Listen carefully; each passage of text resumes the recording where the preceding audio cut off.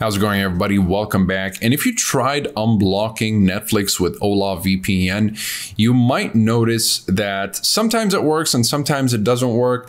But even, you know, when it works, you really shouldn't use Hola VPN for a bunch of reasons. Now, sure, it's fast and it's easy to use, but it's of course fast because it doesn't use any encryption. So let's get through the reasons why Hola VPN is pretty much one of the worst services that you can ever use. It's not even a VPN because it doesn't encrypt your traffic. So first of all, it logs a lot of information. Whether you're a registered user or a free user, you're going to get a bunch of information used, okay? So if you're using Hola VPN or if you want to use VPN to uh, protect your logs or data or keep everything uh, private and anonymous, you're not really doing yourself a favor using Hola VPN. Second of all, because I mean it's fast because it's a proxy. There's no encryption. Um, a VPN is going to encrypt your traffic with 256-bit uh, AES encryption and you know the standard use of the OpenVPN protocol. Um, Hola VPN doesn't do any of that. So you're opening yourself up to security risks because it is a peer-to-peer network. It's not really a VPN and it uses peer-to-peer. It's not using OpenVPN or WireGuard protocols, which will definitely open you up to WebRTC and DNS leaks. Now, with regards to Netflix, it still claims that it can unblock Netflix, but Hola VPN is not that consistent with regards to unblocking Netflix, and it doesn't even allow for torrenting properly. It uh, pretty much forbids the use of torrenting it pretty much does not allow for torrenting, even though it doesn't strictly, um, well, they don't really express that they forbid it, but it just doesn't allow it. It's it, it doesn't work with torrenting. Uh, even though it's a peer-to-peer based network right here, it still doesn't allow for peer-to-peer activities. You have limited device support as well.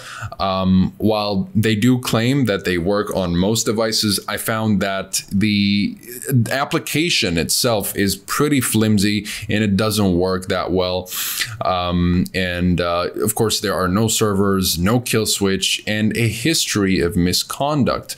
So you've got this as an example here where Hola VPN got caught a few years ago using its free subscribers as an enormous botnet and selling it to users of their paid Luminati servers for upwards of $20 per gigabyte. Um, and in 2015, a Luminati user took advantage of this massive massive botnet uh, comprised of unwitting civilians to launch an attack against a website called 8chan. So with all of that, you shouldn't really go for even the free version of Hola VPN. If you're looking for a free VPN, go for Proton VPN. It's a great VPN. But if you're looking for a VPN that is supposed to, well, do the job of an actual VPN, which is protect you, keep your logs private, not really collect logs in the first place, and have audited no logs policies, and it's quick, it's got 256-bit encryption, and it works with Netflix pretty reliably. You've got these three VPNs as the best example that I can come up with for VPN. Just good VPNs in general that have audited no logs policies, great speeds, uh, full streaming and torrenting support, and of course, the necessary security features such as the kill switch split tunneling and a bunch of protocols at your disposal. Express, Nord, and Surfshark are honestly three of the best VPNs in the industry, but if you want to learn more about them, you'll find the full reviews down below as well as links to pricing and discounts. Let me just go ahead and give you an example. Sing 2, I was just trying to look it up and it's not available for me because I'm not in the United States and it's only available in the United States and South Korea. So if it shows up, it means that I finally have access access to the United States Library. Let's go ahead and refresh. Now that I'm connected to the United States server with NordVPN, and as you can tell, it shows up as if I'm in the United States myself.